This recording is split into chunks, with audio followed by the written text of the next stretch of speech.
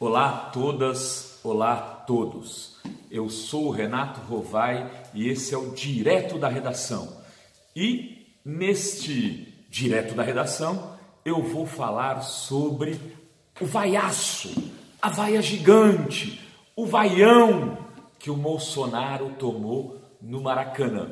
Mas antes, deixa eu dizer uma coisa para vocês. Se vocês não seguem ainda o canal da Fórum, é um bom momento para ir lá, www.youtube.com barra Fórum Revista. Vai lá e plim, toca no sininho. Seguinte, é um, é um, uma coisa na política que é quase que um senso comum.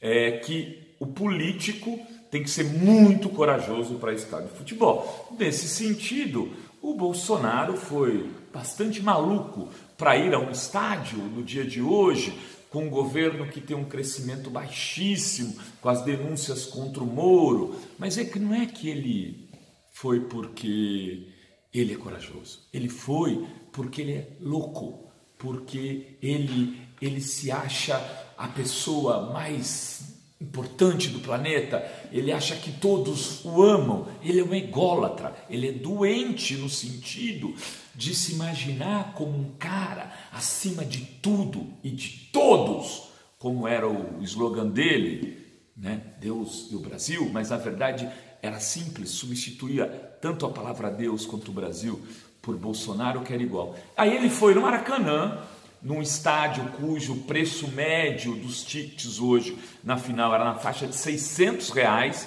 650 reais, ou seja, a gente tinha uma classe média média, classe média alta, e ele tinha certeza que ia estar entre os seus, só que, só que não.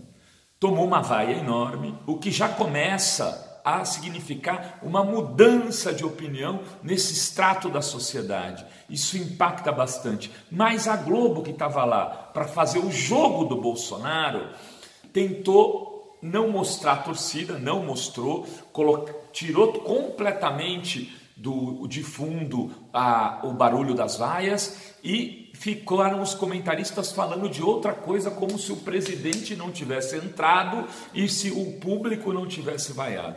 De alguma maneira, isso é muito simbólico. A Globo voltou a, voltou a ser a Globo, o Bolsonaro é sempre quem foi, e a população está começando a ficar de saco cheio, de novo, de um político que prometeu, prometeu, prometeu e nada fez. Talvez essa Copa América, por pior que tenha sido, de baixo nível, com o Brasil ganhando o jogo da Argentina, a meu ver, com um pênalti que não foi marcado contra, para os hermanos e que proporcionou o segundo gol, mas de alguma maneira foi importante para mostrar que o Brasil, mesmo nas suas classes mais altas, começa a mudar a opinião em relação a este cara que acha que todos nós somos os patos.